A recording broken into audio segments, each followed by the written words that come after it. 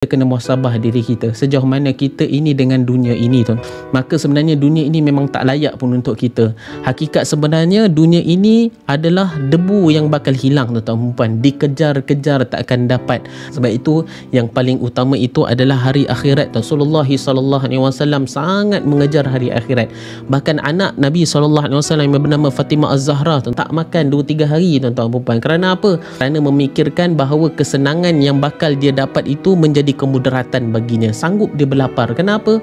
Kerana ciri-ciri orang-orang yang bakal masuk syurga itu adalah mereka yang diuji dengan kelaparan. Minal fuqara wal masakin. Di kalangan fakir miskin. Tapi bukan kita nak jadi orang fakir miskin tuan-tuan. Puan tidak tuan-tuan puan ada kiranya suatu hari Allah Subhanahu Wa Taala uji kita dengan kesakitan.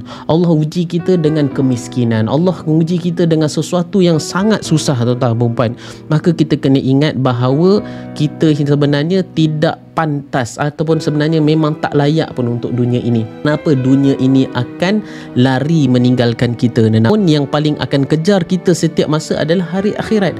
Siapa yang merindui siapa? Adakah dunia yang mencintai kita ataupun sebenarnya akhirat yang mencintai kita?